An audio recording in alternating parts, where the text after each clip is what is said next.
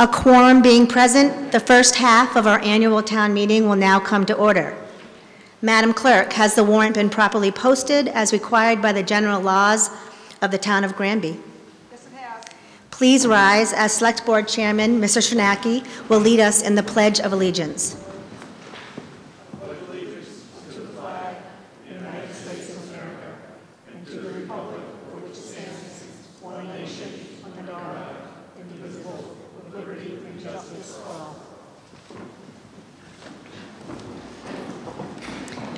Sitting in the front today, we have the Finance Board, the Select Board, the Town Administrator, the Town Attorney, and the Town Clerk. In the front rows, we have the Planning Board as well as the School Committee. If you are a resident, a non-resident, or a non-voter, you must sit in the designated area in the back of the gym. And for this meeting, we are doing something a little different with discussion. If you would like to comment or discuss on an article, please line up over here to the left by the bleachers. And I will call on you individually to come up to the mic in the front, and then you can begin your discussion after you tell us your name and your address. If you cannot come to the mic because you aren't able to, please raise your hand and I will have a mic come to you. Please do not direct any comments or questions or discussions to a particular member at town meeting. Please tell them to me and I will direct it to the appropriate person.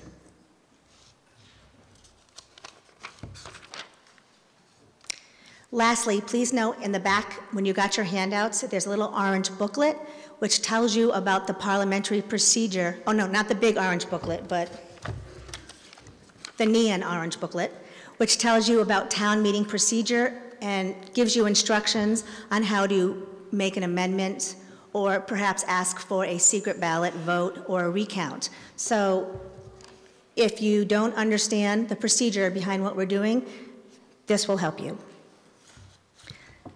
The moderator will now recognize Mr. Albert Bale to come forward.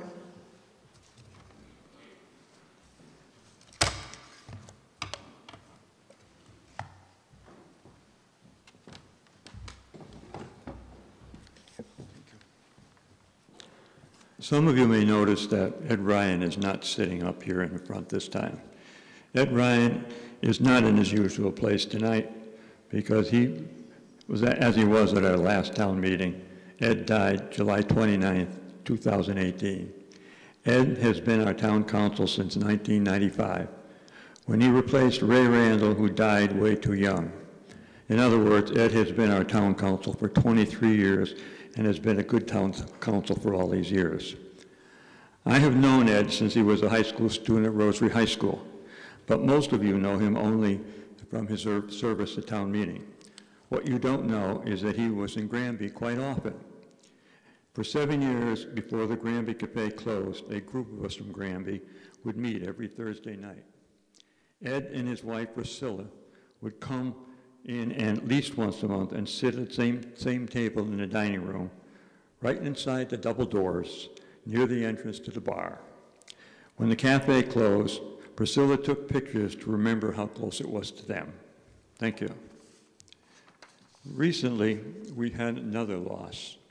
Last week, we lost one of our more dependable town meeting participants when Pamela Pam Mayu died. Pam in years past served nine years on the Granby School Committee. In recent years, Pam waged a courageous battle against multiple systems atrophy.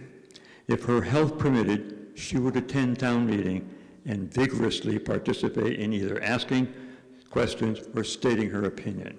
Pam set an example for all of us that town meeting is important and we have responsibility to attend and participate. Pam, we will miss you. Thank you.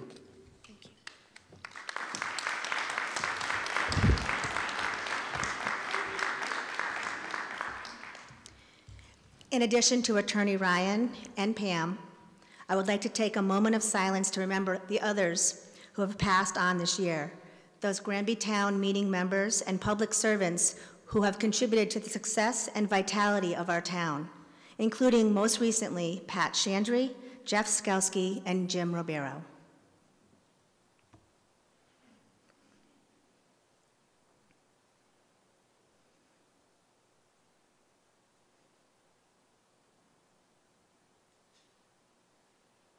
Thank you. The moderator will now recognize the town clerk for reminders. Good evening, everyone. Thank you for coming out. Just a reminder, for next Monday, we have our annual election. It is here at the high school. Um, It will open at 7 a.m. and close at 8 p.m. If you are unable to attend, um, we do, I can do an absentee ballot up until Friday, 5 o'clock in my office, so that would be May 17th. Um, So hopefully, everybody will get out and vote, and we'll see you then. Thank you.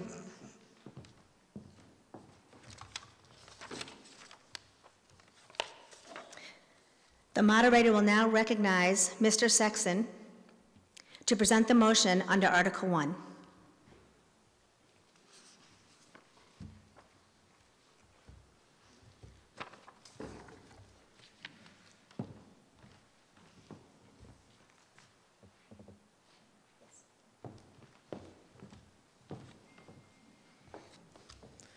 Madam Moderator, I move the town vote to conduct the business of the meeting as follows. On May 3rd, uh, sorry, May 13th, 2019, consider Articles 2 through 11, and on June 10th, 2019, consider Articles 12 through 39. Thank you. Second? Is there any discussion or questions? In order for this motion to pass, it must pass by a majority. All those in favor, please raise your cards. Thank you. All those opposed? The motion passes unanimously.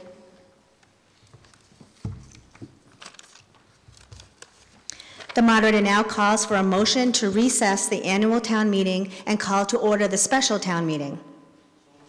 Can I have a second? All those in favor, please raise your cards. Thank you. Any opposed?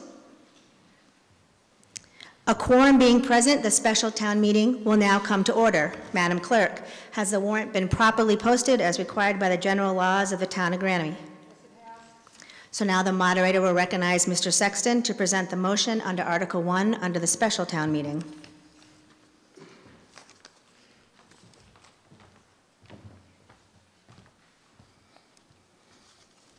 Madam Moderator, at this time, the planning board was to withdraw Article 1. Uh, Reason being is that the planning board uh, wishes to have more input from the Board of Health as well as Conservation before we bring this motion forward again. So the motion on Article 1 has been withdrawn, so we are moving on to the motion under Article 2. The moderator will now call on Mr. Sexton to present the motion under Article 2.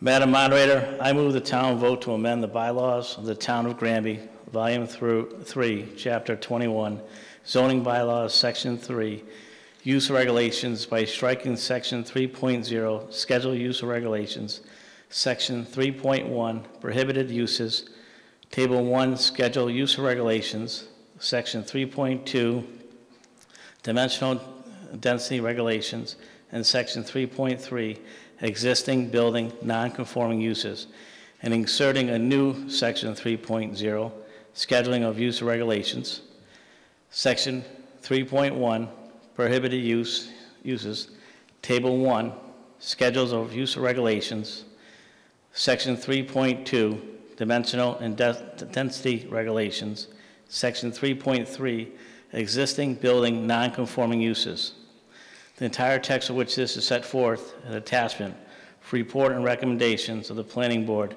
dated May 11, 2019, which is herein re- referen- ref- referenced as availability at the Select Board's office. Second, are there any questions or discussion?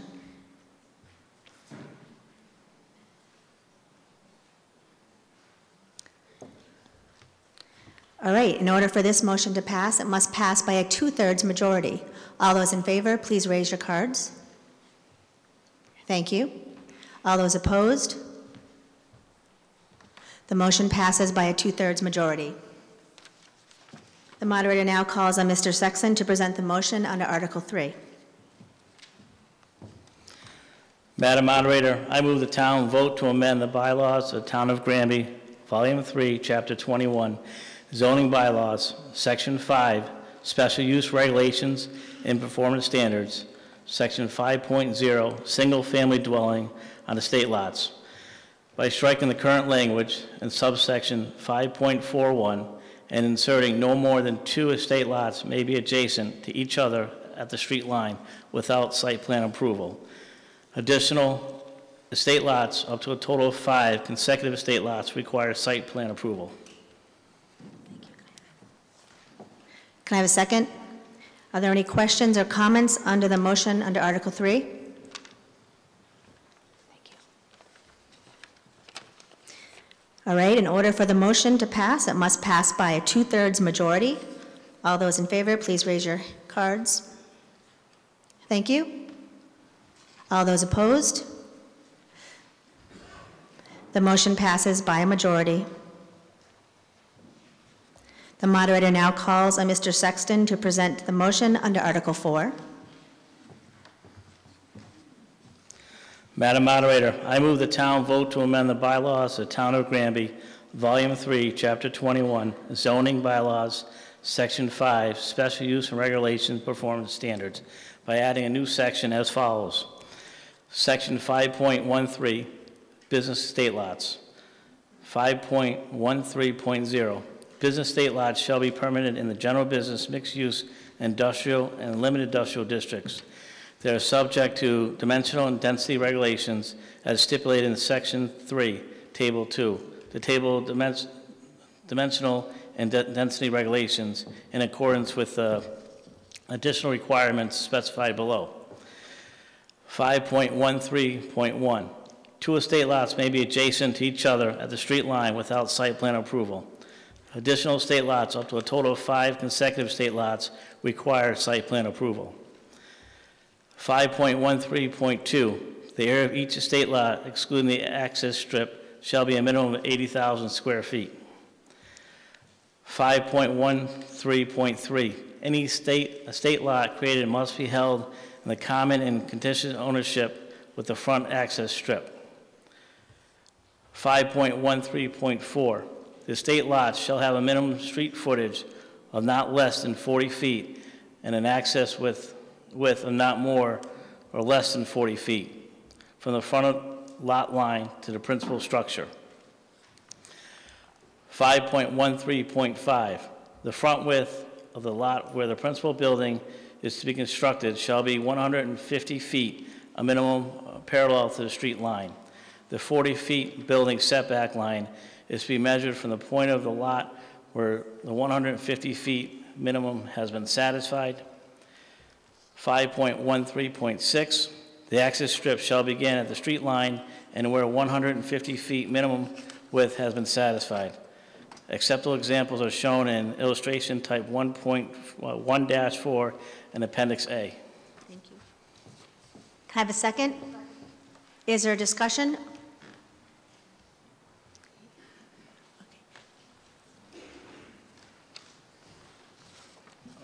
Joe Fernie at 154 Taylor Street. We're doing a lot of zoning changes, and I'm certainly not one that's focused on that. So given all of the changes, the estate lots, which I assume are residential, these business lots that we're talking about, is there some kind of projects or something that are going on town that are motivating the planning board and the zoning commission to make these changes? Or are we anticipating something else? So, okay? Uh, Well, some of them have came from uh, residents of the town of Granby inquiring about it. Uh, This particular arter- article that refers to uh, business lots, it gives the opportunity, um, for, for instance, uh, some of the land on 202, where they may not have the frontage to actually um, build the building, but there's enough land behind certain property owners, and that will give them the access that they need to get to that property behind there to build something they wish to build it.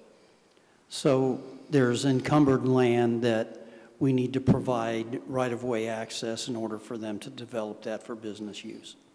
Well, this, this bylaw will let that happen, yes. Okay, thank you. Come on up.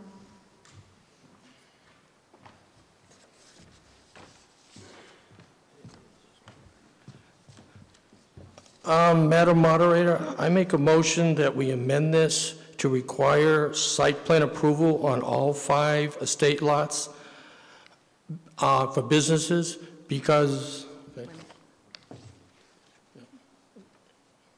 going to, you're going to remove this language. yeah, the first sentence, and just leave it all. So, read the, what you want it to say. You want 5.13.1 to say this, that's what you need to read. Okay.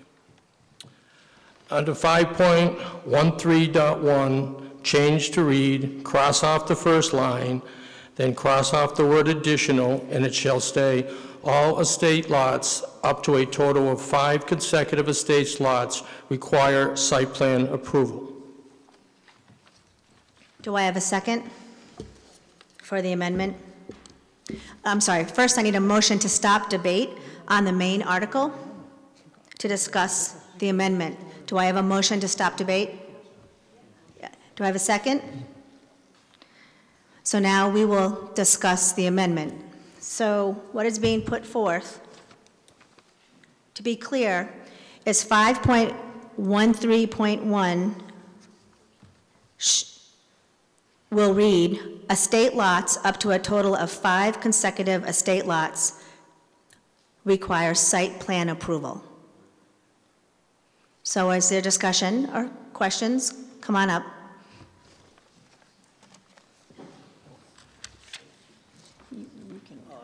Madam Moderator, Joe Fernie, 154 Taylor Street. Uh, Why would we limit it to five consecutive? Um, Why wouldn't we just say all business estate lots would require site plan approval? Because that would mean that if you had six consecutive lots, you wouldn't need site plan approval?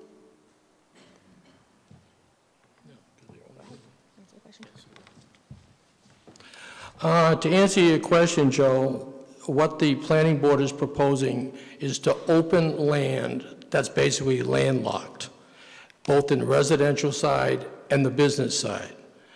Residents are residents. Businesses, we don't know what they'll be. And that's why I'm recommending an amendment to this, for the simple reason we could end up with a liquor store next to a daycare center, because there's no site plan being done on the first two. So I'm not against at all on having five um, business estate lots. I just believe they all should have site plans, so everybody would have input, what kind of business it is next to each other. Uh, I thought this was already changed, that's why I just picked it up now. I, I thought it was changed before. But again, this is based on site plan approval, so we're looking at the actual site, not actual what business will be next to each other. Emery, if you'd like to speak, you could come over here and wait. Yeah, I- Thank you. Okay, I just don't understand the five limitation. Are we saying that anybody that has land to develop, we won't let them create more than five estate lots? Because you're saying five consecutive. So that's, I, I don't have a problem with the change to require everybody, but you're putting a limitation of five when you're just saying any business estate lot is going to require site plan approval. Isn't that what you're asking for? But at, the limit would be five, and after the, after the five consecutive state lots, there would need to be a normal lot. And they could, could actually go to another five consecutive lots.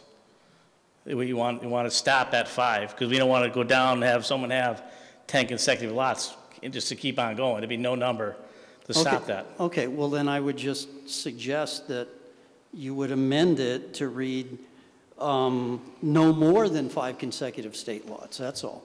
So are you suggesting another amendment? I guess I am, that uh, if you look at the second line, that all estate lots and no more than five consecutive state lots would require site plan approval. So I need that in writing, and I need another motion to stop discussion on the First Amendment to discuss, to begin discussion on the Second Amendment, because you're amending an amendment. Okay, so I need to make that motion? Is that correct? Or do I I need need your amendment write? in writing. Okay. And I also need a motion to make an amendment of the amendment that was offered. Okay, so I'll do it in writing, and then I need to come back here to do But that? you can make the motion right now. Okay. So I get the second. Okay, so I am making a motion to stop. You're making a motion to, oh, I will stop discussion on the First Amendment. Okay, Can I have a motion to stop discussion on the First Amendment? And a second? So now we have stopped discussing the amendment that Jay put forth, and now Mr. Fernier would like to request a se, an amendment on the amendment, which is, uh, you want me to write that down, I do, I need that in writing. Okay, so let me get it in writing, and then I'll come back up and read it. Well, say it. Or- Okay, Say then what it. I would say would be that all business estate lots, or maybe I don't need that word since all additional estate lots, all estate lots. All It's not even lots. additional, okay? And no more than a total of five consecutive estate lots would require site plan approval. all estate lots, no more than a total of five, Consecutive state lots on a single parcel would require site plan approval. Because we're relating to the size of the land, I guess.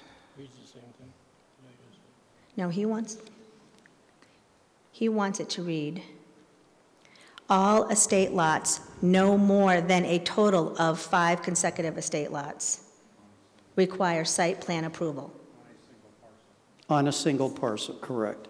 on a single parcel. Yes, so please write that down. Okay.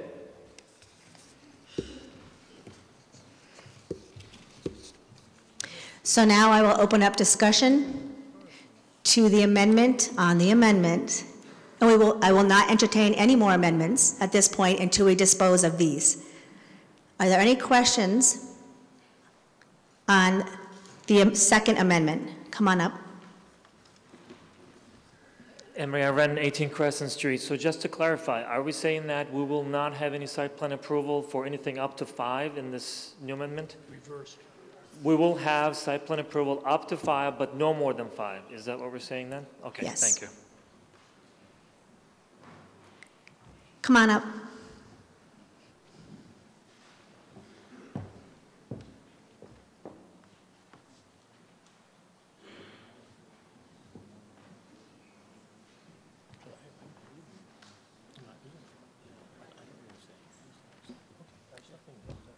Uh, Rich Damaraki, Batchelor Street. I agree 100% with what Jay says, that all business estate lots should have site plan approval. We, we have to know, we have to approve businesses that are squeezed in to lots. So I agree 100% with what Jay said. Okay, but right now we're talking Yes, about Joe's with- amendment? I agree with Joe's amendment if I understand it correctly. It's a little confusing the way it was worded. Okay, let's- let- you want me to read it Could to you? Could you read it again? The amendment is all estate lots and no more than a total of five consecutive estate lots on a single parcel require site plan approval. So what he's, what he's saying is that on any one parcel of land, you cannot have more than five estate lots, business, correct? And of those five, they all need site plan approval. Correct? Okay, thank you. That's what he's saying. Well, then you need to say that. Do I need to make another motion, or? No, we're set with the motions. Um, Come on, fourth. Let him talk, and then you guys can talk. Okay. Jim Tromke, 290 Taylor Street. Just to clarify, all business lots need site plan approval. Can you go closer to the microphone? All business lots need site plan approval. This, this article's just to address the, the size and allowing the, the, the estate lots, the business lots to happen. Currently, in the business zone, there are no estate lots permitted. This is allowing up to five with site plan approval. Every business lot has to have a site plan, whether it's an estate lot or otherwise. So the- the, the art, or the, the amendment is a moot point. It's already in place. So you would like town meeting to vote the second amendment down, the one we are talking about? Correct. Because you are saying it's a moot point. It's a moot point. It's already in place. Okay. Thank you. Do you want to speak?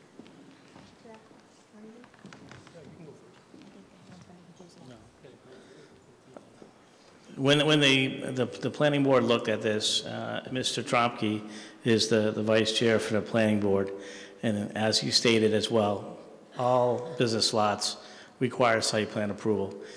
We were looking at how do we make it beneficial for landowners. Uh, For the example I gave was on uh, Route 202 and, and those such areas. Um, There's, this is, talks about estate lots, business estate lots. Uh, Any business lot falls under site plan approval. And this is a business lot, just happens to be a state business lot, but it is a business lot. Come on up.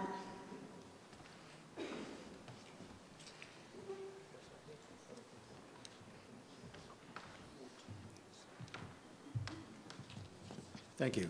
Uh, My question is this, in the way that the um, 5.13.1 reads, it says adjacent to each other at the street line without site plan approval. No, currently, currently, we are not.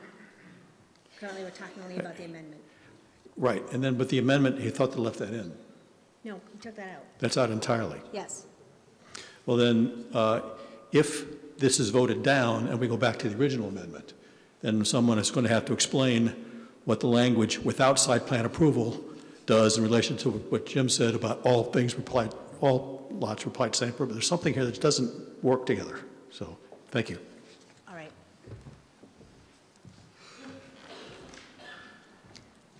S- Come on up to the microphone, please. Seamus Connolly, 21 Ferry Hill Road, Granby. Uh, on the uh, state lot and the other uh, thing, like uh, the, um, I'd say my suggestion would be to stick with the original one uh, because it just makes more sense to myself, and I don't think we really need to change anything. You know, you guys can always approve or disapprove of a business. Uh, For example, say somebody wanted to buy uh, street lumber, the old street lumber place. You guys could approve of the person having a business there or not. And 202 is usually, as I can recall, is the business district of uh, Granby. Thank you. You're welcome. Is there any further discussion on the amendment, the second amendment, before I call for a vote to see if it's going to pass? The second amendment. Yeah, I'll read it, I'll read it in a minute. Do you have a question on the amendment? Uh, Emery Arven, 18 Crescent Street. I, I'm still not sure that I understand this correctly. I, um, it was my original understanding that, that's why I asked the first question, that business lots required uh, site plan approval. The way it reads here, it says two estate lots, and I'm assuming it's referring to business estate lots, um, No. maybe adjacent to each other at the street line without site plan approval. Right now, where, what it says, what it is going to say, what we're going to vote on, and you don't have to vote it up, we can go back to the original amendment. What we are discussing is for 5.13.1 to read, all estate lots and no more than a total of five consecutive estate lots on a single parcel require site plan approval. Okay. All right. All right, thank you. So in order for the amendment to pass, the one I just read, it must pass by a majority. And then if it passes, On that one there, I'd like to speak on against that. All right, we, uh, Jay would like to speak one more time on this amendment, and then we will vote on it. Just so we're not confused, I'm going to use Joe Fernier's amendment. I don't know what's one, two, or three, but under Joe, he is saying on one parcel. I disagree with that part because that means one property owner. We want to open this five estate lots up to multiple property owners, not just one. So I would disagree with the restriction to one parcel. On the, on the second part, when Jim came up, he says in another part of our bylaws, it says all business lots require site plans. If if we use that in the language here, we'd have a conflict, because the first line says, without site plan approval. All I'm saying is, to make it simple, all estate lots, up to a total of five consecutive estate lots, require a site plan. Just simple. So I don't want to see a liquor store against a uh, a daycare center. They, they look at traffic, they look at 18-wheelers coming in and all this stuff. If you don't have a site plan, nobody be looking at it. And if we have this, we're conflicting our own bylaws by saying, one place says we have to have site plan, another place says you don't have to have site plan.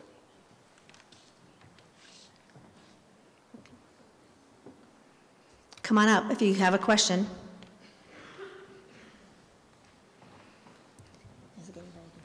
Moderator, Joe Fernie, 154 Taylor Street.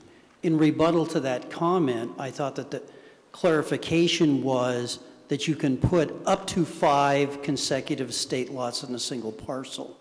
That's why I put it in there. Through that language, you are not limiting the number of estate lots except in the development of estate lots on a single parcel of land. That doesn't mean that you cannot, and unless I'm missing something here, that doesn't mean that you cannot put estate, business estate lots on other parcels. It's just that if you want to develop an individual parcel, you cannot have more than five consecutive estate lots on that individual parcel.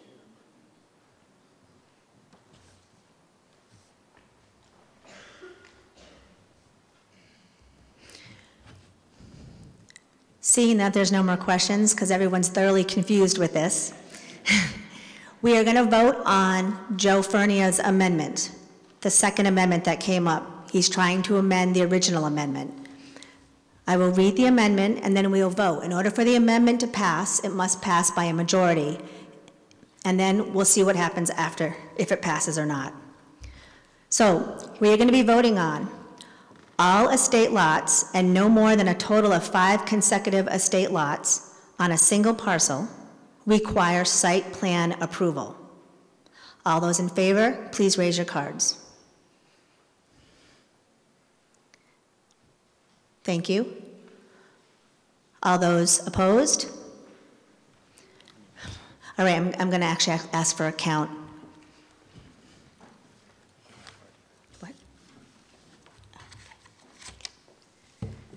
So all those in favor uh, of the amendment, please raise your cards and keep them up and raise them high. Thank you.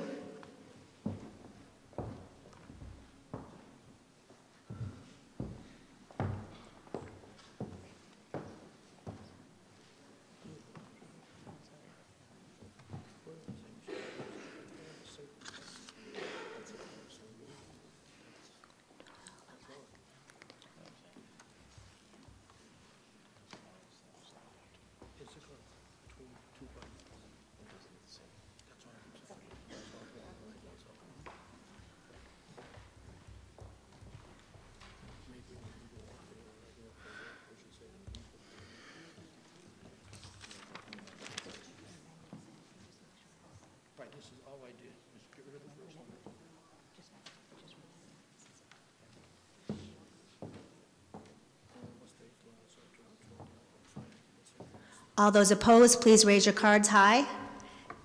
Thank you.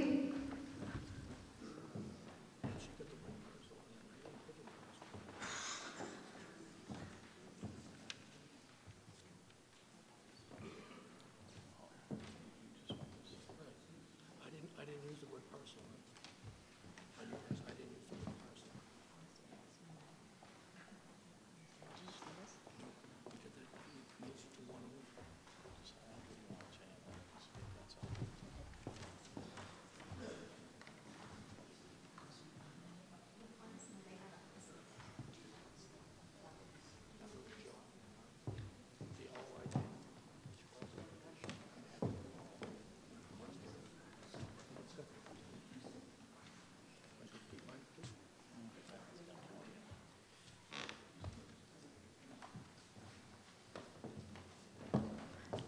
All right, apparently my eyes fooled me. You can put your cards down.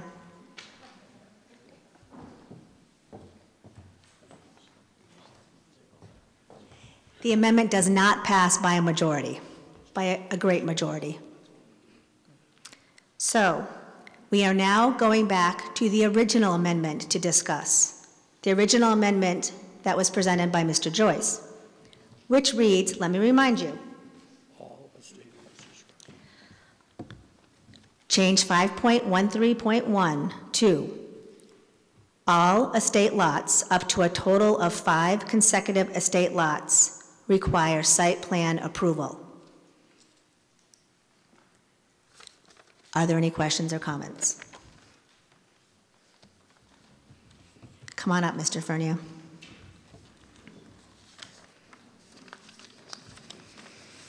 So what happens if you have six consecutive estate lots, because you have no limitation? So does that mean none of them require site plan approval?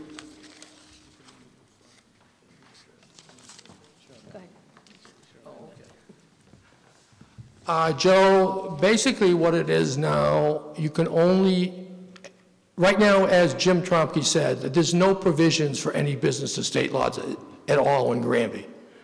We're trying to allow five business estate lots so they can use the landlocked land and increase the revenue of the town. A similar bylaw is on residents. The only difference, a resident is a resident. A business can be multiple. What we're saying is, we're putting a limit on five. It doesn't mean that somebody can't come in and go to ZBA and go for more, but when you use the word one parcel, if you go to the assessor's office, that's one segment of land. We don't want to restrict it to one owner of land. They can have as many owners as they want. We don't care. It's just open up five businesses and all of them require site plans. That's all we're coming up with, plain and simple. Right now, it's zero. We want to open it up to five to create revenue for the town, and they, five is the maximum on the business estate lots. That's, I don't know how simple it is. So with that said, and just kind of reference what Jay has said, it's up to five. So meaning that there could be five consecutive estate lots, business estate lots together. After those five, if a a regular lot with the correct footage is there, then after that lot, an- up to another five consecutive business lots can go again. If you'd like to ask a question or speak, you can come on up to the mic, and if there's more than one person, please line up to the left over there. Oh, you, you can, that's fine. Seamus Connolly, 21 Fairhill Road. I have a comment. I would suggest vote for this. More revenue to the town means less taxes. More revenue to the town mean more business. We can put a business tax. Businesses are good for Granby's economy. Business is good for an economy, period. It's simple economics, Granby. So please, I would say, allow more businesses to come in. A big Y um, by where the street lumber is, maybe a, a, f- the- a, a Burger King, maybe a McDonald's. All right, thank you, Seamus. You're welcome. Come on up. Hi, I'm Harvey Lyjak, 104 Amherst Street. I think the reason for the difference is the grammar. It's simply the grammar. And I don't think you're, you're getting the fact that if you read this over here, it doesn't say you can have a maximum of five. It says up to five, we can give them a site. So well, is there somewhere else that there's a maximum of five in, in the bylaws? So you're trying to do that here, you just need to say it more clearly. It's saying up to five. If there's only enough land to support two businesses that are landlocked, then it would be for two. If there's enough land for three, it would be three. If there's enough land for four, it would be four. If there's enough land for five, it would be five. But that's the maximum. And as Glenn said, what you'd have to do then, for the business area, for another business, they'd have to have 150 foot of frontage, and then you could find, that five business estate lots again. Does that make it simple for you? We're trying to use the landlocked land to create, create revenue, but since businesses are all different, and we don't know what they are, they need traffic control, safeties, whatever the fire department needs, they all need a site plan. And we don't want a contradiction between this bylaw and another bylaw in our bylaws. Clarify that. I'll try. I- I'm not, so the original um, article is not, is not there right now. We're discussing what Jay's uh, amended is. And and I understand what you're saying. I think you want to say limit up to five. Is is that correct? You want a number, so five stops. Oh, He said. oh. Is that what you're looking at? You want this, uh, five be the limit? Okay. But that's not. No, it's not what Jay, that's what, I understand what he's saying. Come on forward. Abelson, 134 Cold Hill. Uh, Do we need two sentences? One that says, every business needs an estate plan, and a second one, on any parcel, there can be up to five businesses. Is that what you're saying? Okay. This, Is that? this is Jay's amendment, not, it's, I don't want to speak to what he's saying. so- Well, uh, if, Did, if can rather you than... repeat, can you repeat your two sentences for Jay? And then he can tell you if that's what the meaning of his amendment is. I'm sorry, he had a question as well. Every business needs a site plan. On any parcel, there can be up to five businesses. Well, I would disagree on any parcel, because a parcel is a lot of land that could be owned by one person, okay? one if you have multiple people that own different parcels of the landlocked land? I don't want to restrict it to only one person that owns the land. As many people in the landlocked land can have up to five. That's why I'm saying leave the word parcel out. I, I don't understand when you're talking about multiple people owning. Uh, On a parcel, whatever, whomever owns it, there can be five businesses, is that right? If you restrict it to a single parcel, according to the ass- the assessor's office, then you're only allowing one owner of one uh, plot there. And I'm saying, you could have uh, a person here that owns 20 acres and a person here that owns another 20 acres, and they're abutters. Yes. Well, I don't see anything wrong with this person getting three of the estate lots and this one getting two, share the wealth. If you say the word parcel, then you're restricting it only to the one. That's why I'm saying we shouldn't be doing that. That's all. Because you, as Glenn stated, you cannot have, you've got to put a 150-foot uh, other business between the estate lots. I, I'm sorry, I, I just can't follow you. Uh, Maybe it's absolutely logical what you're saying, but I, I'm sorry, I can't follow it.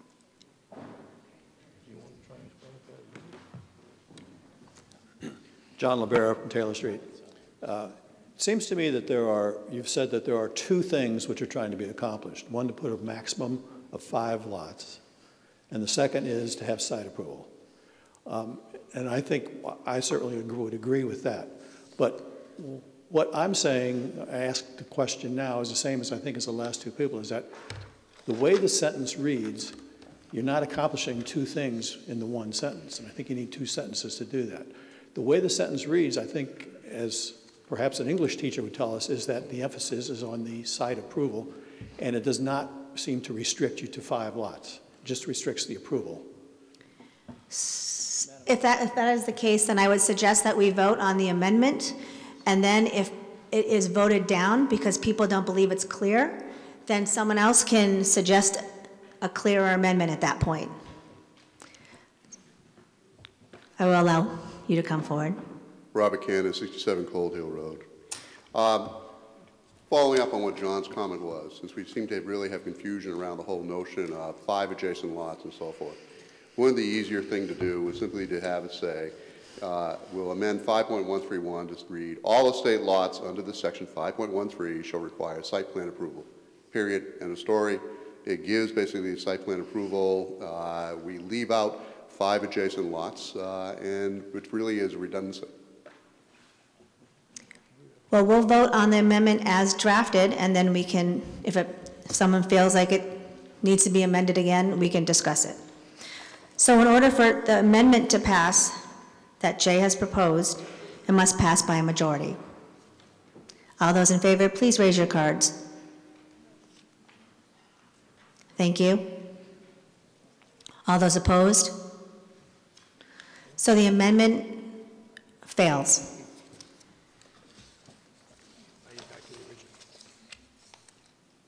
So now we go back to the main motion. So the motion reads as it's written in your uh, handout. Are there any discussion or comments? Come on up.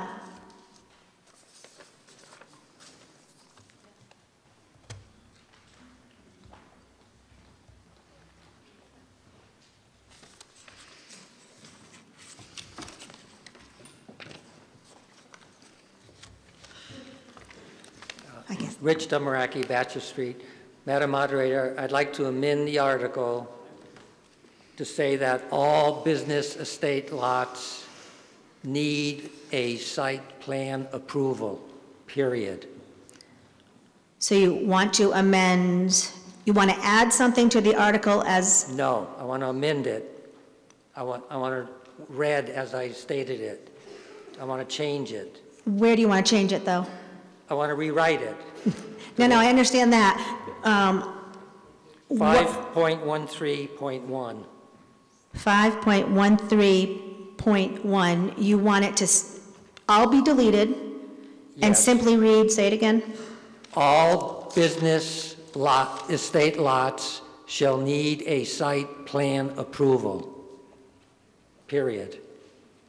Can you please put that in writing? Certainly. Doesn't matter who puts it in writing, as long as I have it in writing. So can I have a motion to stop debate on the main motion? Second? So now I will open the floor up to the amendment that was just proposed, which reads, 5.13.1 to be changed to, all business estate lots should need a site plan approval. In concurrence together, Robert Cannon, Cold Hill, 67 Cold Hill Road, Granby. In concurrence together, uh, would it be better to simply have it read as follows? All state lots under the section 5.13 shall require site plan approval, and I can certainly put that in writing for you. I need something in writing. Yeah. So Yeah. the two of you put it together so I can open it up to the floor for discussion.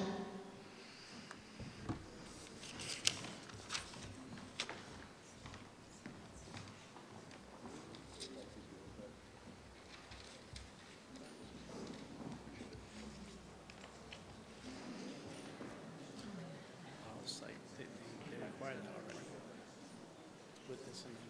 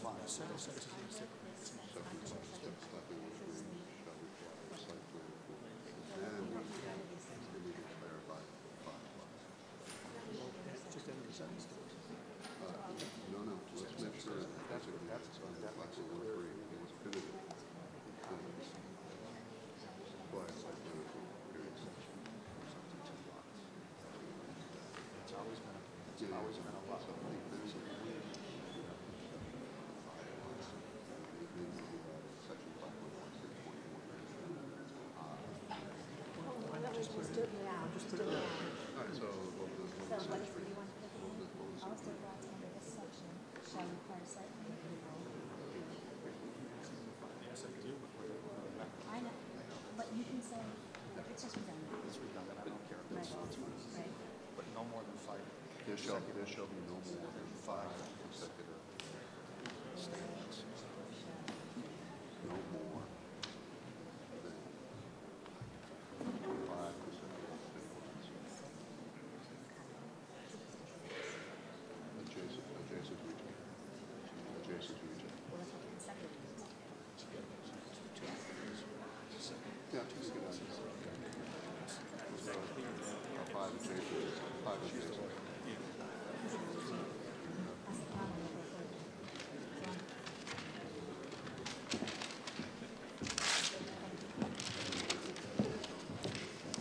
How many people does it take to read an amendment? I know. This is what they're proposing. All estate lots under this section 5.13 shall require site plan approval. There shall be no more than five consecutive estate lots. Do I have a second on the amendment? So let's open it for discussion.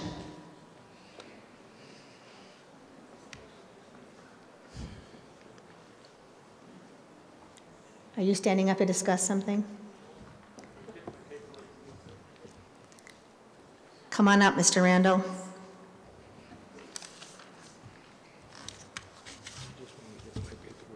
Oh, good luck.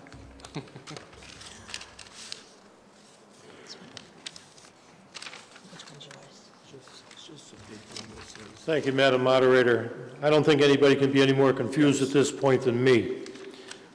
I'm, I'll admit to being clueless on some of this crap here. I see our town counsel sitting here with a very perplexed look on his face. I'd like to hear from you, Brian, as to what, what your thoughts are on some of this.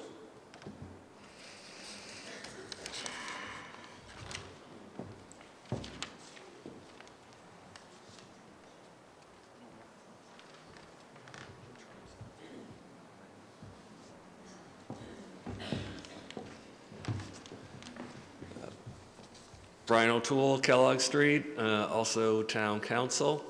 Uh, Mr. Randall, I, I think if I understand your question here, if it's regarding the process of amending and then amending an amendment, kind of look at it as a, as a waterfall. You've got the main motion, you've got the amendment, you've got the amendment to the amendment, and it's frowned upon going any further than that. And then you have to go back up that wall, that waterfall, from the amendment to the amendment, to vote on that, back to the amendment, back to the main motion. It's confusing, and the manuals tell you not to go past more than an amendment to an amendment. Um, and that's what we've been doing here so far. Um, as part of the town meeting process, um, amendments have been brought forward. Um, and under the parliamentary procedure, we go back up by what is proposed by uh, the members of town meeting. Hope that helps. So we currently only have one amendment on the floor, which is what is up for discussion right now. So if you have a question, Mr. Fernier, on the amendment as proposed, please come forward. California, 154 Taylor. Okay. In what I just heard, are we saying that we can have more than 10, more than five business estate lots on all of our business property, except that we can't have more than five consecutive in one area? Or, as you said earlier, are we saying that we're only going to have a total of five business estate lots in the whole town?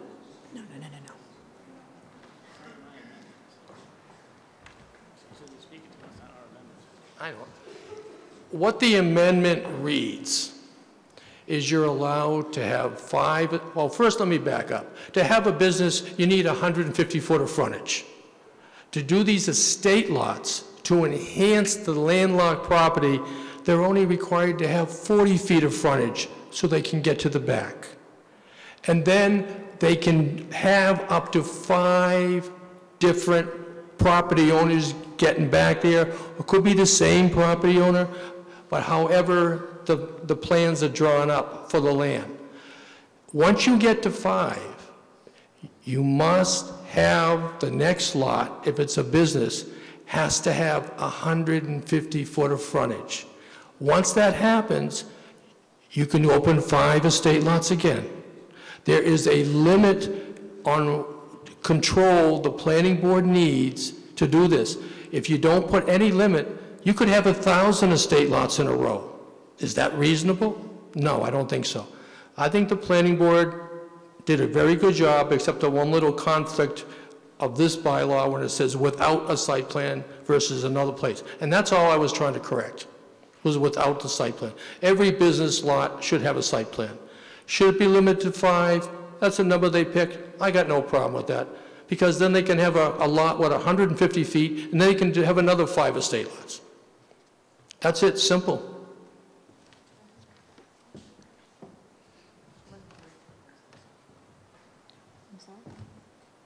Oh, come on up.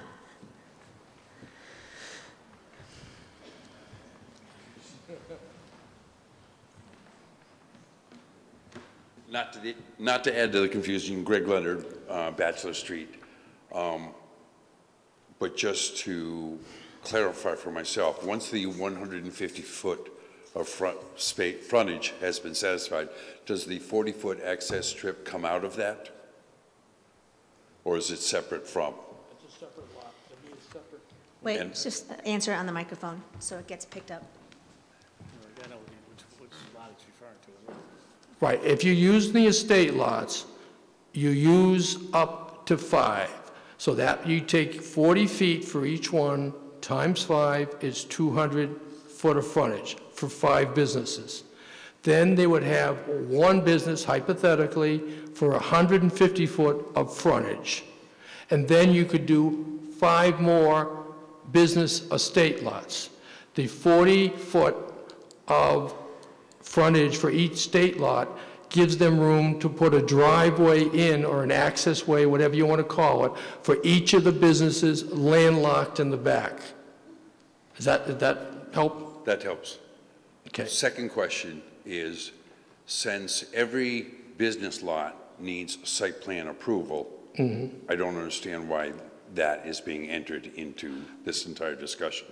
Because if you read the first sentence of the original proposed bylaw change, it is allowing the first two not to have a site plan approved. So there'd be a conflict in our bylaws from one section to another, and that's what I was trying to get rid of. Just want to say something quickly. Uh, Just so everybody knows, um, a lot of the questions that have come up, and I've been standing behind here, and haven't answered them because they're not my amendment. And I want people to understand that. I'm not going to speak to someone else's amendment that they're bringing forward. I spoke to what the planning board was bringing forward, so I want people to understand that. I'm not just standing back there um, wondering what's going on. I want people to know it's not my amendment, so it's not up to me to discuss what someone else may or may not thought. Are we ready to vote on the amendment? Will read the amendment. In order for the amendment to pass, it must pass by a majority. So 5.13.1 will read, "All estate lots under this section 5.13 shall require site plan approval. There shall be no more than five consecutive estate lots." All those in favor of that amendment, please raise your cards. Thank you. All those opposed? The amendment passes unanimously. Woohoo!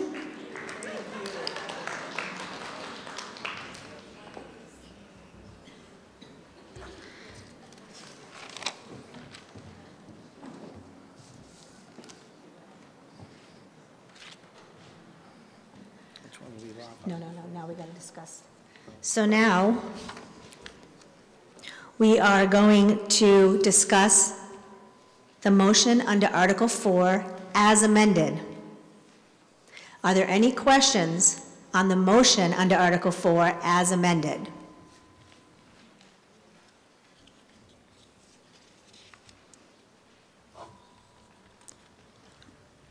So in order for the motion under Article 4 to pass, it must pass by a two-thirds majority.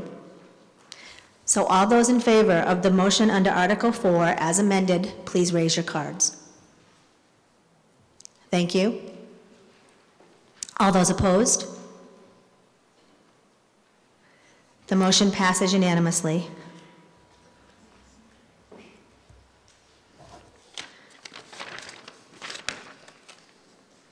The moderator will now call on Mr. Sexton to present the motion under Article 5.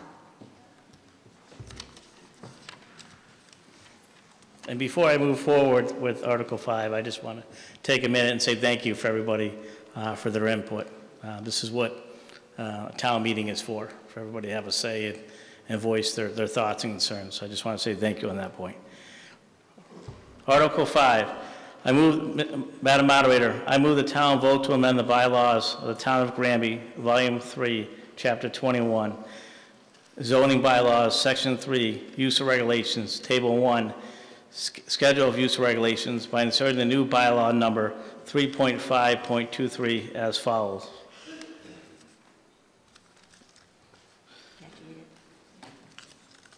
Uh, As you see with the chart um, going down, uh, the bylaw number, land use classification, standards and conditions, uh, each area, uh, 3.5 retail and services, 3.5.2.3 business estate lots, subject to section 5.3, and it refers to what areas they're allowed in, residential, um, general business, industrial, industrial two, and uh, village common. Uh, On the bottom, you have no, no, yes, yes, yes, and no. Second? Is there any comments or discussion? Do you want to say anything? Do you want to say anything to that? So in order for the motion under Article 5 to pass, it must pass by a two-thirds majority. All those in favor? Thank you. All those opposed? The motion passes unanimously.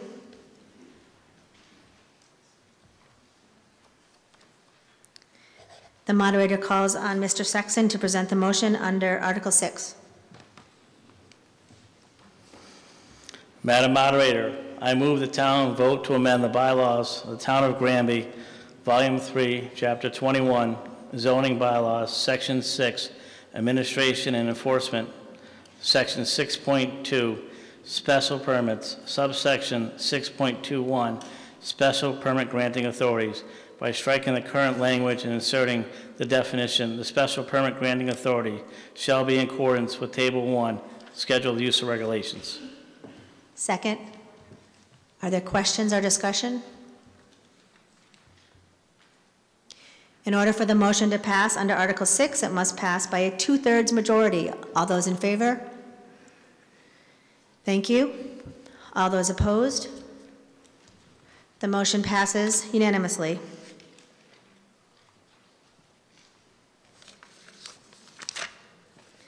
The moderator now calls on Mr. Sexton to present the motion under Article 7.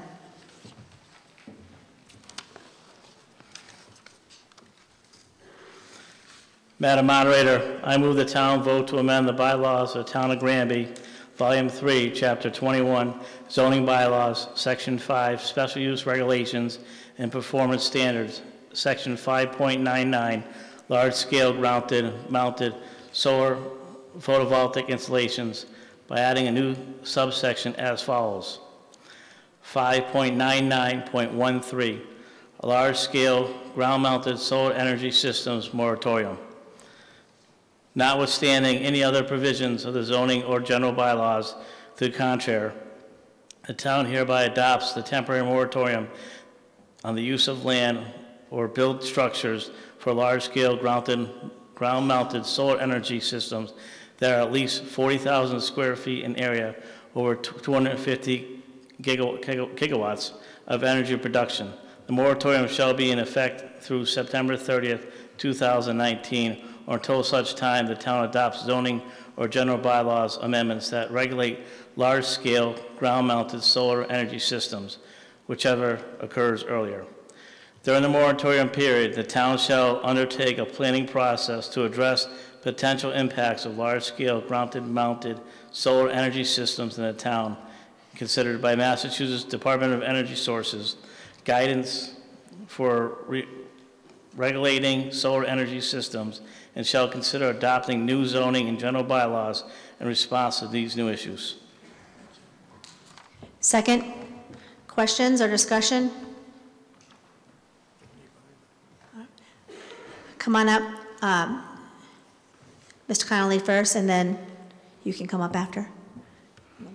Uh, yes, Seamus Connolly, 21 Ferry Hill Road, Granby.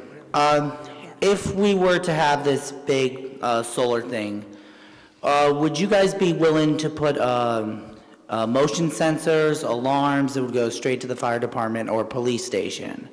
When these, if, say you build these, the solar thing that Glenn and Jay just discussed?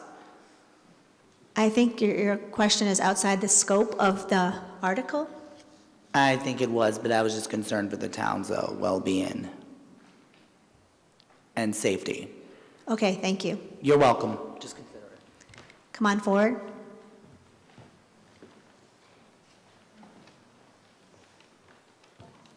Madam Moderator, my name is James Naraki. I'm the second generation of Naraki Construction, and I currently reside at 4 Lyon Street. I just would like to make this statement. We are against the solar moratorium proposed. As a landowner, I don't believe the town should restrict how I can utilize my property since there are regulations currently in place for solar projects. In the event that the town still wants to move forward with the moratorium, we would like also to request that the existing applications be exempt from the moratorium. That could be accomplished by specifying the zoning bylaw change shall not apply to any projects for which a special permit or building permit application was filed prior to the date of the bylaw's adoption at the town meeting. This approach would be far reasonable for those who have invested significant time and money into possible projects. More importantly, if the town feels there should be changes to the solar by- regulations in the bylaws, they can propose those changes without putting a moratorium in place. Thank you. So are you suggesting an amendment to the motion as it's written? Yes, if it passes, I would like, um, One second.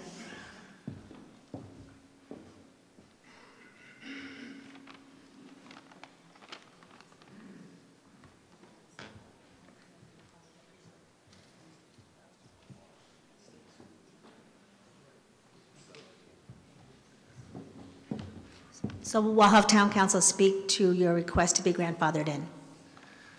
Um, Again, Brian O'Toole, Town Counsel. Uh, Chapter 48, Section 6 of the Massachusetts General Laws um, deals with um, pre-existing non-conforming uses, um, even in a moratorium situation.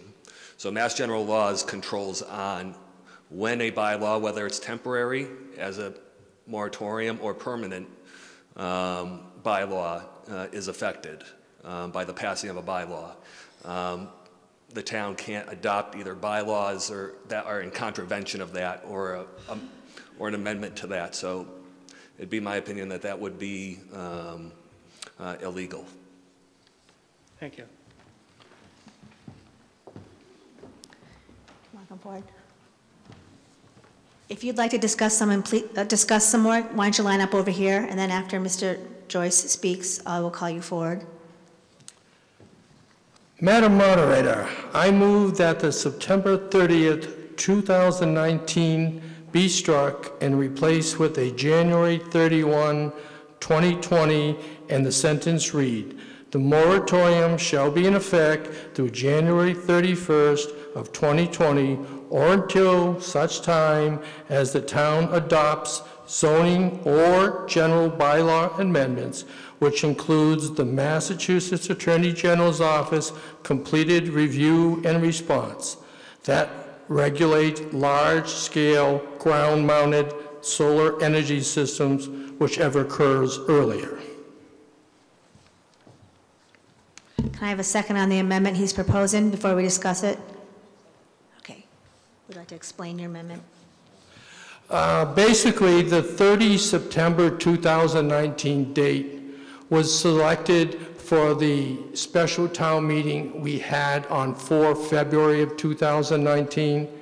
And if you're to take that 30 September 2019 date and back it up according to Massachusetts general law, discussion on this had to start April the 23rd. We're way past April the 23rd. So we have to extend the date of the moratorium out to meet Massachusetts general law. That's the purpose of my amendment. So can I have a motion to stop debate on the main article to discuss the amendment? And second? So I'll now open the floor up to discuss the amendment that was just proposed by Mr. Joyce, which is basically changing the date to September 30th. I'm sorry, to strike September 30th, 2019, and to replace it with January 31st, 2020. Are there any questions or comments on that? Come on up.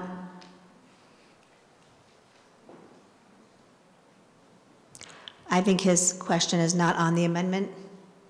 Is your comment not on the amendment? Right, okay. Come on forward then. We're talking about the amendment. Uh, Rich Dumaraki, Batchelor Street. I agree 100% with what Jay proposed about extending the date. The planning board should have enough time to get all the information they need to uh, write a bylaw that makes sense about solar projects. So it, it's common sense. They shouldn't be rushed, and I agree with extending the date for the reasons Jay gave. Thank you. Any further questions or discussion on the amendment? Come on up. I too 100%, oh, Seamus Connolly, 21 Ferry Hill Road, Granby, Mass. Um, I 100% agree with Jay on to January 31st, 2020. I am in favor of that. Thank you. Thank you. So in order for the amendment to pass, it must pass by a majority. All those in favor of amending the motion? Thank you. All those opposed? The motion passes by a majority. Or the amendment, I'm sorry, passes by a majority. In which case now we go back to discussing the main motion as amended with the new date. So come on forward.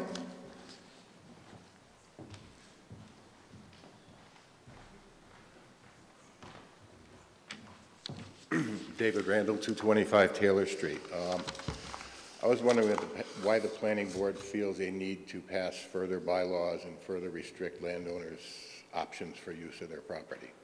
What bylaws, what issues do you see that solar creates?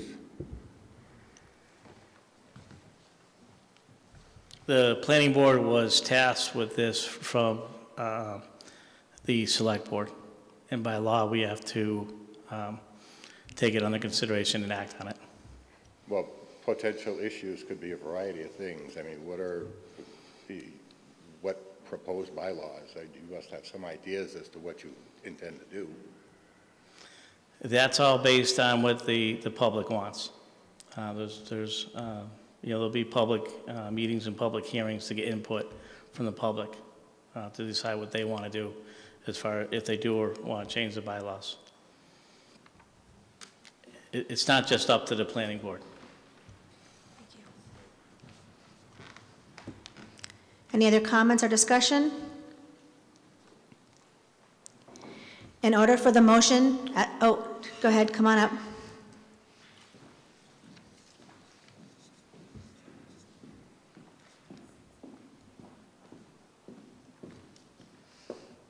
Jim Tromke, 290 Taylor Street. I also sit on the planning board.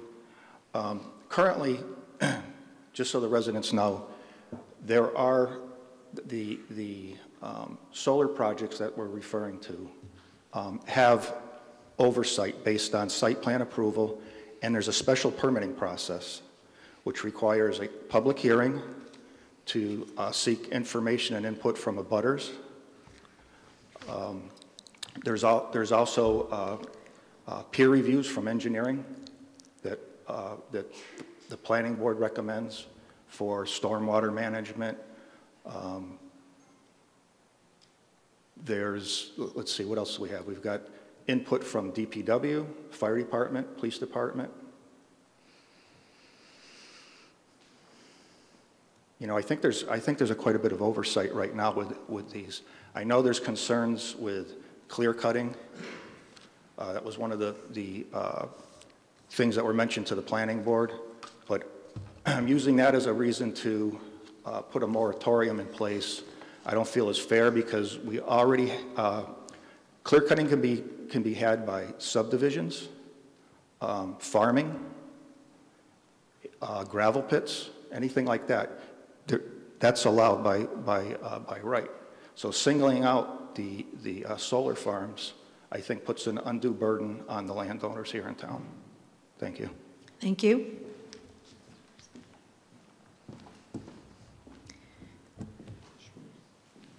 Any other comments before I call the vote?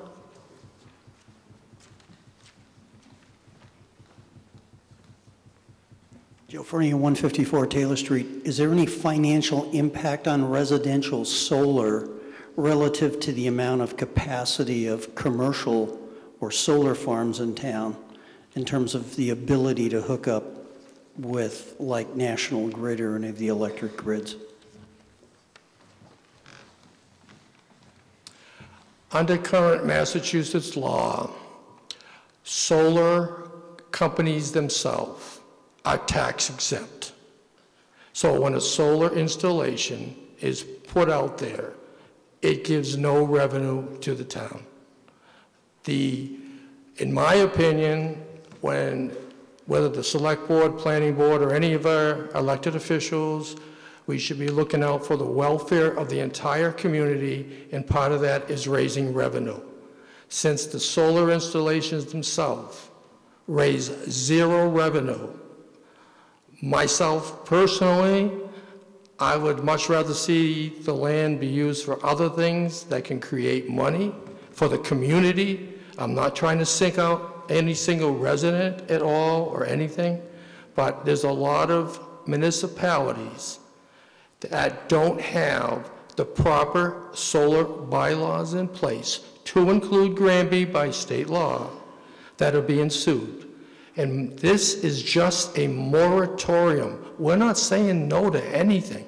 All we do is need some time for the residents to put in input into their elected officials to come up with the bylaws that they would like for their community, and then they will vote on them at the special town meeting.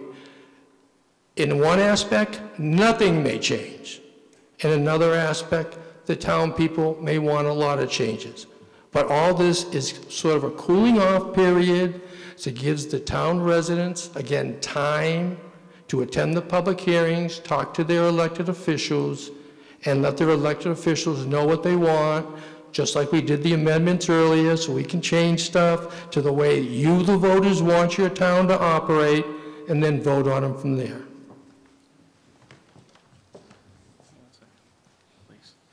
Uh, Just in respect to what Jay said, the town, our current um, solar farms that we do have in town, we do, the town does obtain something in value from them as far as revenue.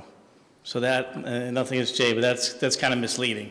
There is a Massachusetts general law that states it cannot be taxed, but there's other things that have been put in, put in place as far as that.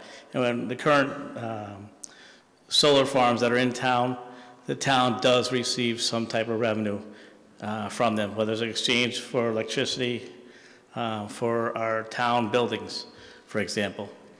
And if people wish to hear more, I would ask of our, uh, our town administrator to come up and speak to what we do receive from, from them.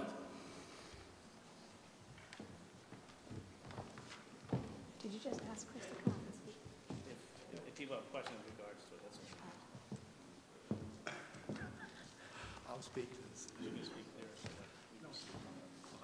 What Glenn is referring to is the solar farms on East Street by Kearsarge. We do have a current agreement with them. We buy our electricity from one of their farms or all of their farms here in Granby. We also purchase the municipal electricity from another one of their farms in Ayer, Massachusetts. That's got nothing to do with them physically being here. It was negotiated. And if Kearsarge wanted to, today they could go to the state tax appellate board and they could become tax exempt, and then we have to pay them all the money back they've been paying us in the pilot agreement.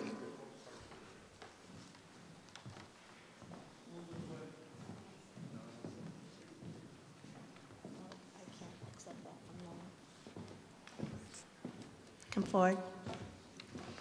Bob Sheehan Jr., 144 Taylor Street, also a member of the Planning Board. Uh, What Mr. Joyce just referred to is a loophole in the law that we were told about. We, uh, we are of the understanding that this loophole is being closed, or possibly being closed, by the state legislature. Let's not run with scare tactics. Thank you.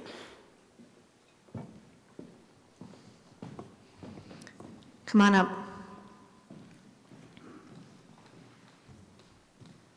Joe Fernia, 154 Taylor Street. So let's say Kearsarge changes their position. How much is the town exposed to financially if we have to repay them?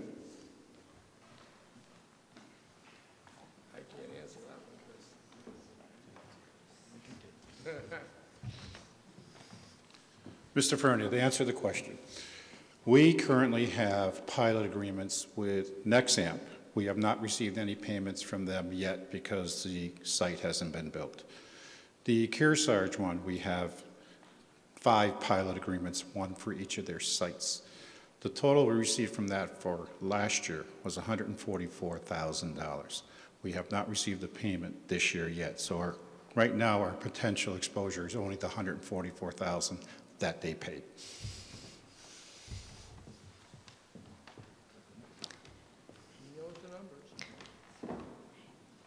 In order for the motion, as amended, under Article 7 to pass, it must pass by a two-thirds majority. So all those in favor of the motion under Article 7 as amended, please raise your cards. Thank you. All those opposed? The motion passes by a two-thirds majority.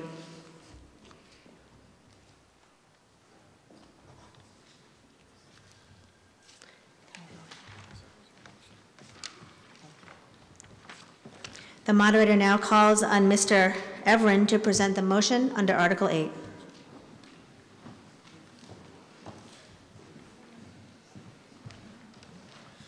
Thank you, Madam Moderator. Uh, Emery Evren, on behalf of the uh, school committee, I move the town vote to transfer from free cash the sum of $11,207.92 for the purpose of funding a prior year bill for the Granby Public Schools. Thank you. Can I have a second? And discussion? Uh, This, uh, this article is related to an invoice from a couple of years ago when we were doing our superintendent search. After the search was completed, uh, the school committee asked to go back to clarify um, the- some of the services that were provided. By the time we got to pay the bill, which we tried last uh, fiscal year, we uh, found out that according to Massachusetts general law, we cannot pay a prior fiscal year's bill. And the only way for that bill to be paid is for the town meeting to approve that bill to be paid. Uh, Otherwise, the uh, amount was, uh, was budgeted, was funded, and in fact, we tried to pay, but we could not, again, due to that law. So we're asking for your permission, uh, based on the law, to be able to pay this bill. Come on, you can discuss. Thank you. John LaBera speaking for the Finance Committee. Uh, We discussed this in our recent meeting, and this is very interesting. Uh, Now, I've only had 30 years' experience on the Finance Committee. Bob Glessman has had more than that with town affairs, and neither one of us remembered this ever happening with the schools before. Uh, The bill got lost, it didn't get paid in the fiscal year in which it occurred. It's a bill, it's got to get paid, it's a legitimate bill. Um, So we heartily recommend that we vote in favor of this. Thank you. Are there any discussion or comments? Come on forward, and, and then come forward. Seamus Connolly, 21 Fairhill Road. A bill's a bill, you gotta pay it, you know what I mean? I would suggest we do pay it, because I'm not trying to do any scare tactics, but you don't want your taxes to go up. So that would be my suggestion, please vote for this. Think of your children and your grandchildren. Thank you very much.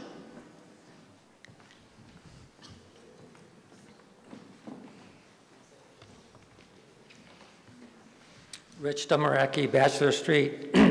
One thing I don't understand, why doesn't this expense reduce the current year's school budget? It's obviously a school expense. So why doesn't it come out of their budget that they're asking for this year? All right,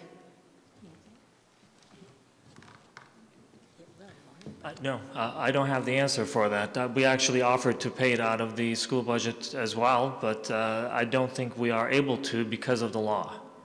Okay, I know you said you can't pay it, but it could reduce your current budget for this year. So technically, you're not paying it, we're reducing your budget. It's obviously a school expense. Technically, you can, you can reduce the budget uh, as long as you do not go under the net school spending, yes. We're nowhere near that. We're way over net school spending. We're not way over it, but we are over it. Yes. Could the attorney maybe comment on that? well, I have, uh, Mr. Nally can comment on it. Okay.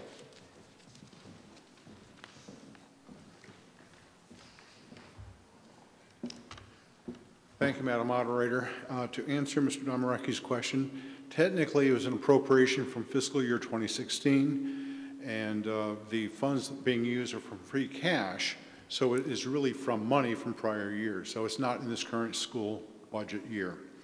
Uh, Furthermore, uh, I would recommend that town meeting approve this uh, to avoid any collection costs or legal costs that we might incur. So I would encourage town meeting to approve this uh, article. All right.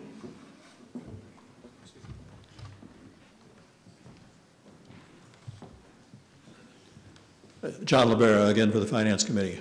Uh, This uh, really addresses the question that uh, Mr. Damaraki question added, asked. Those are two separate issues. The payment of this bill is one issue, and then the second issue is what do you want the school budget to be for next year? Uh, What you want the school budget to be for next year will be determined at the June 10th meeting. And if at that time someone wanted to try to amend the budget down by $10,000, it could raise that uh, amendment, but it would have to be done separate. You can't just say, well, let's have it reduce this year's budget. Thank you.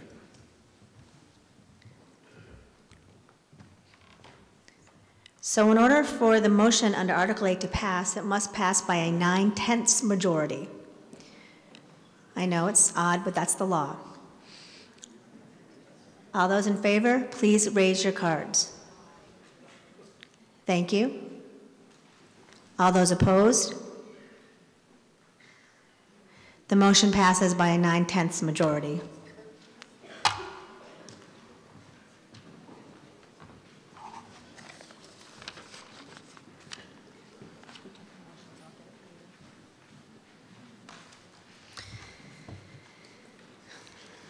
The moderator now calls for a motion to dissolve the special town meeting and call to order the annual town meeting.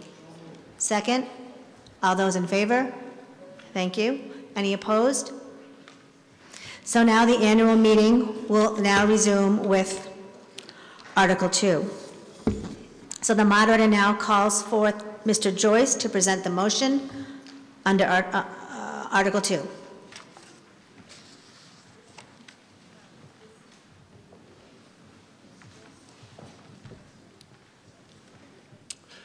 Madam Moderator, I move the town hear the reports of the town offices and all standing and special committees and act thereon. Second? Is there any discussion or questions? So if this motion passes, we will have the, um, the reports at the next meeting at, in June. That's when they will be presented. So for this motion to pass, it must pass by a majority. All those in favor, please raise your cards. Thank you. All those opposed? The motion passes unanimously. The moderator now calls on Mr. Joyce to present the motion under Article 3. Madam Moderator, I move the town vote to authorize the Select Board to conduct the following activities for fiscal year 2020. A, to sell, after first giving notice of time and place of sale by posting such notices of sale in some convenient and public place in the town 14 days at least before the sale, property taken by the town under tax title land of low value procedure, provided the select board or whoever they authorize to hold such public auction may reject any bid they deem inadequate. Under B, to apply for and accept federal and state grants or monies as made be available and allowed the select board to expend any funds received as sets forth in appropriate application. C, to enter into a contract with the Massachusetts Highway Department for construction and maintenance of public highways for the ensuing year. Second, and discussion. It's up to you. It's, I'm just gonna tell them it's house meeting really. All right, so in order for the motion to pass under Article 3, it must pass by a majority. All those in favor? Thank you. All those opposed? The motion passes unanimously.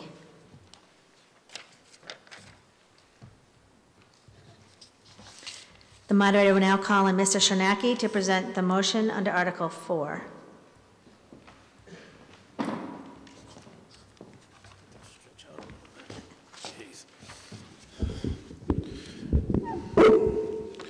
Good evening, everybody. Madam Moderator, I move the town authorize the various departments to receive compensation for services rendered for fiscal year to 2020 as follows. A, the cemetery commissioner- commissioners to dig graves and maintain equipment and grounds in the cemeteries at, at a wage rate that is no less than a minimum wage. B, the members of the Board of Assessors to be compensated $15 per parcel for necessary fieldwork and data collection for services rendered in connection with the revalu- the revaluation and recertification process involving one-sixth of the improved parcels in town. C, the members of the Board of Health or their consultants to receive compensation at a wage rate of $35 per inspection or specific required activities. D, the members of the planning board or their appointees to receive compensation at a rate of $65 per inspection. thank Second? And are there any questions or discussion? In order for the motion under Article 4 to pass, it must pass by majority. All those in favor, please raise your cards. Thank you. All those opposed? The motion passes unanimously. The moderator calls on Mr. Sharnaki to present the motion under Article 5. I'll take it. Madam Moderator, I move the town vote to authorize the Conservation Commission to charge a fee of $65 for each site inspection deemed necessary by the quorum of the commission. Fees shall be payable to the Town of Granby Conservation Commission and deposited in the Conservation Hatch Fund. Can I have a second? Any discussion? In order for the motion under Article 5 to pass, it needs a majority, so all those in favor, please raise your cards. Thank you. All those opposed? The motion passes unanimously.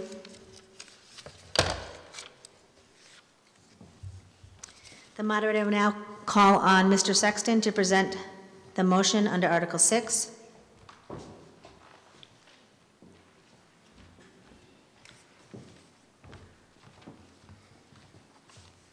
Thank you. Uh, First of all, uh, I just want to apologize if I happen to pronounce uh, anybody's name wrong. So, Article 6, I move the town vote to accept the following gifts in the calendar year 2018 for perpetual care of the cemetery lots. Richard Carboon, Carboon, $300. Georgette L. English, $1,600. Wendy M. G. Howe, $475. Leo Fugger III, $775. Allison Sol Labrie and Kim Sol, $600. Heather Rule, $3,145. Maureen T. and Douglas G. Labie Jr., $1,565. Bryce M. Flowers, $1,565. Felipe E. and Alice M. Danette, $1,565. Second. Any discussion? The motion on Article 6 must pass by majority, so all those in favor, please raise your cards. Thank you. All those opposed? The motion passes unanimously. The moderator now calls on Mr. Sexton to present the motion under Article 7. Madam Moderator, I move the town vote to authorize expenditures from these revolving funds for fiscal year 2020 without further appropriation. Letter A, a Parks Oversight revolving fund from which the Park Oversight Ad hoc Committee may spend $40,000 in revolving funds monies in fiscal year 2020. B, a Charter Day revolving fund from which the Charter Day Ad hoc Committee may spend $50,000 in revolving fund monies in fiscal year 2020. C, a planning board fee revolving fund which the planning board may spend $50,000 in revolving fund monies in fiscal year 2020. D, an after-school activities program revolving fund for which the superintendent of schools may spend $20,000 in revolving funds monies in fiscal year 2020. E, a dog revolving fund from which the police chief may spend $12,784 in revolving fund monies in fiscal year 2020. Letter F, a library revolving fund from which the library commissioners may spend $2,000 in revolving fund monies in fiscal year 2020. Second, are there any discussion or comments? The motion under Article 7 must pass by a majority, so all those in favor, please raise your cards. Thank you. All those opposed? The motion passes unanimously. The moderator will now call on Mr. Shanaki to present the motion under Article 8.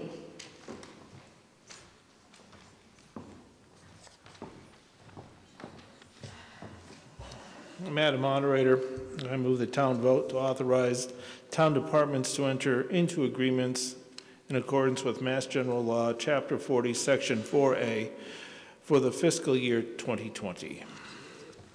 Can I have a second? Any questions or discussion on the motion under Article 8? Come on up. You got to come to the microphone because the TV people can't hear it. Well, you know what? The question is, please explain the motion under Article 8.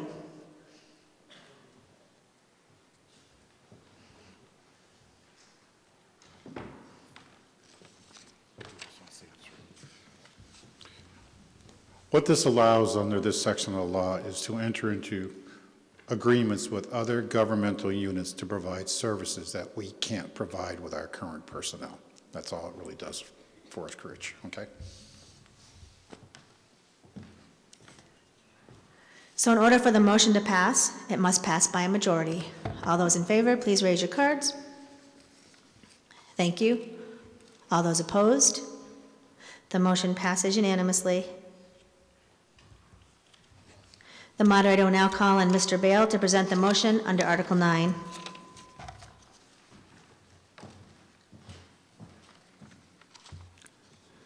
I move that the town vote to amend the bylaws of the town of Granby, Volume 2, Chapter 19, Personnel Bylaw Appendix D, Compensation Plan, Pay Schedules, and- and substituting a new Appendix D showing the nine pay grades and 10 steps to be effective July 1st, 2019. Can I have a second? And discussion? Come, come forth. Joe Fernia, 154 Taylor Street. So what is the percentage increase over last year for? 1%.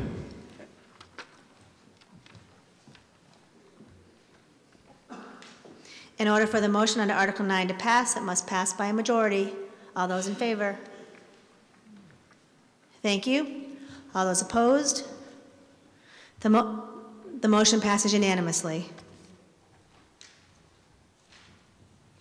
The moderator will now call on Chief Mitchell to present the motion under Article 10.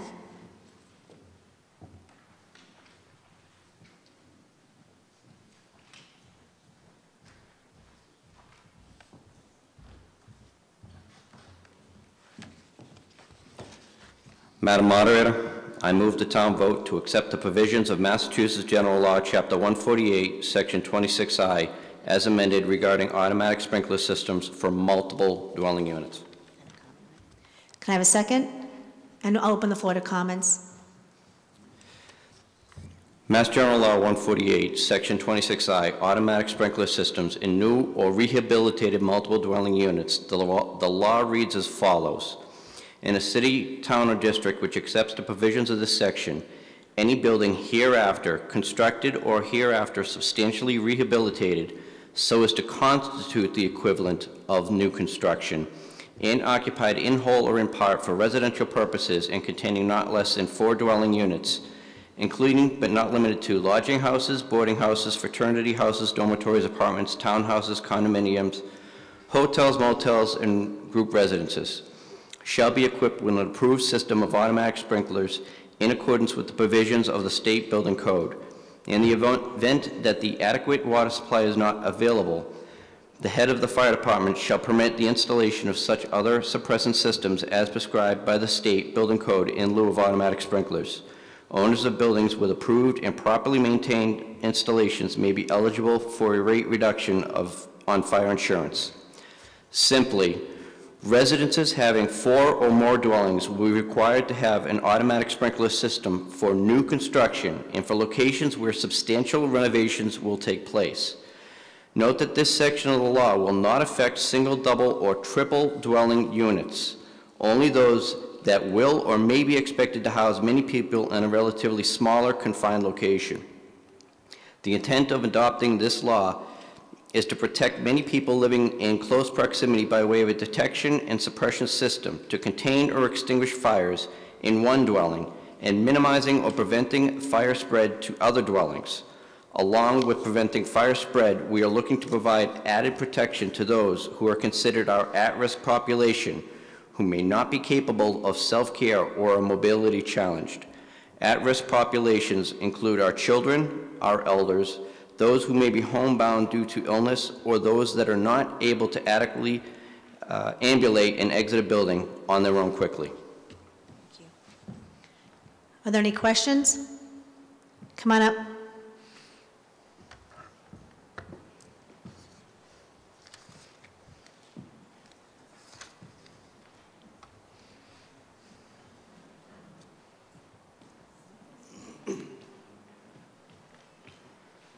Rich Stumaraki, Batchelor Street. I just had a quick question. Would that include uh, like private schools like MacDuffie? It would because there's uh, considered uh, dormitories, uh, but it would only take effect if they went through substantial renovations under uh, the code. uh, come on up, and then you can speak after.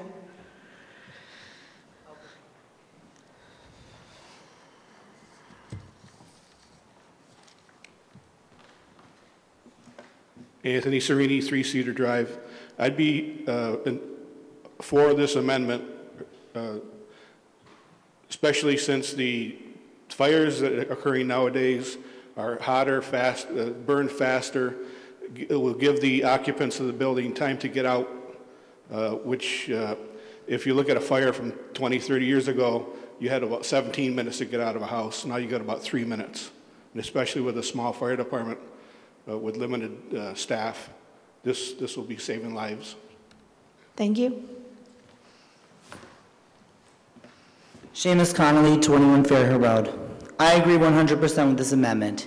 It will help, it it will, it will help people who are at risk, people who are in wheelchairs, people who are old and cannot get out, children who are small.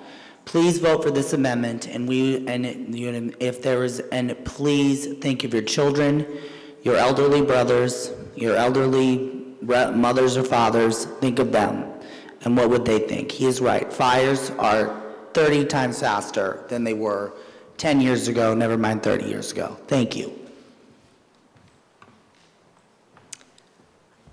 Come on forward.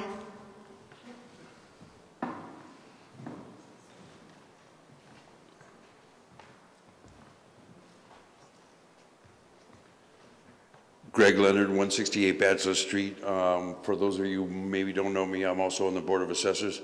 Um, This is a valid question. I really don't have an answer for it, but let's recognize the incredible cost that this is going to add to the buildings that we are talking about. There are businesses and that have just gone out of business because of the cost of an automated sprinkler system. Let's not ignore that, please. Just for clarification, uh, this is only going to apply to new construction or construction that is uh, going through a significant rehabilitation.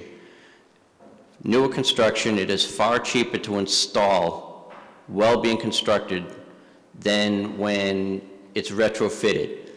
The point of this, I understand the cost issue, but we're talking about residences. We're not talking about your general businesses. There's a big difference between commercial properties and what would be considered residential. Dormitories, townhouses, condominiums, these are all residences where people sleep at night and, and reside. So please don't confuse this with a commercial property.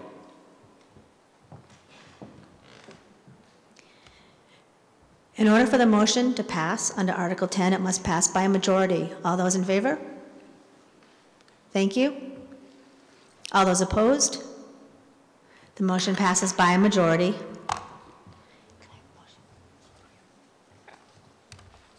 Thank you. The moderator will now call on Mr. Joyce to present the last motion of the night under Article 11.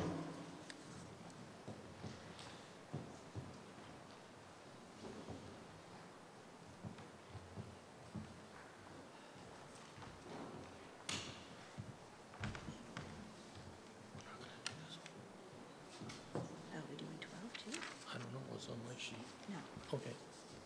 Madam Moderator, I move the town vote to allow the Board of Selectmen to appoint a member of the Board of Selectmen to a position that is under their supervision of the Board of Selectmen, as allowed under Massachusetts General Law, Chapter 268A, Section 21A. Second, and discussion. As you can see, but if you look around right now on how many people are sitting in here as you voters, even though we have approximately 4,500 registered voters in our town. Uh, Some of our committees get shorthanded and can't have a quorum. For example, I'm on two committees. I'm on the Energy Committee, and I'm on the Granby Economic and Development Committees. Basically, for me personally, if you don't approve this, I either have to leave the selectman's job or I gotta leave the committee's job, because I can't do both without your permission. Now, this does affect all selectmen as the way it is written. But I'm just telling you how it affects me personally and what it does. But we do have a shortage of participation, shall we say, on our different committees, and we need to work on it. Until then, we're stuck with what we got. Are there any questions or comments?